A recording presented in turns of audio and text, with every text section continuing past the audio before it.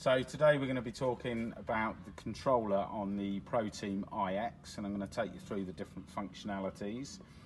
So um, this is connected to a demo unit but we can see the inlet is 19.3, the outlet is 20 degrees.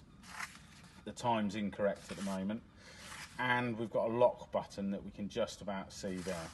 At the moment the display isn't illuminated so the first thing we need to do to turn the display on is to press one of the buttons so that it illuminates. Then what we're going to do is press and hold the power button, this one, for five seconds which removes the padlock. Now we're able to interact to it.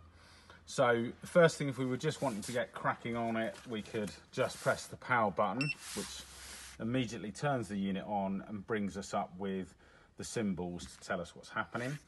And at that point, we can press and hold the mode button here by pressing and holding for three seconds and it will change the mode. So we can go to powerful and heat.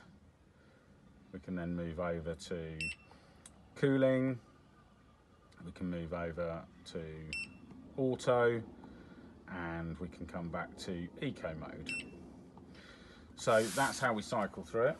And we can press the power button again, to put it into standby. Now we're going to sort the timer out. So when we're setting the clock, the first thing we're going to do is do a short press on the timer button. The hour is flashing. We can then change the hour to the correct time. So for example, let's call that three o'clock. Press the uh, time button once again and we can then set the minutes. Press the time button again and now we have the clock set to the clock that we want. If we want to set the timer, what we do is press and hold the timer button for three seconds and then we get the timer on flashing and we set it in the same way. So we can say we want it to turn on at seven o'clock in the morning or 7.15 if we want, whichever. And we press the timer to skip through it. Then we get the off, and this is the first timer. So we can now set this to, say, 10.30 or 11.30. So that's the first schedule that we're gonna have, for example and now we've got the timer two. If we wanted not timer two to be set, we would just go through it without setting it and leaving it at 0, 0 and 0, 0 the same. If we want to set it, then we do it in the same way. So now I'm just going to go through and leave them all the same. And we can do the same with the third timer. And we're done. So now we can see that the timer is set, it's on. It's currently off because it's outside of the schedule. And there is only one timer set. If I'd have gone through the others, we'd have seen one, two, and three if we had those set. Um, and it would tell you which one the timer cycle was within. Mm -hmm. uh, last of all, to cancel the timer, we simply just press and hold the clock for three seconds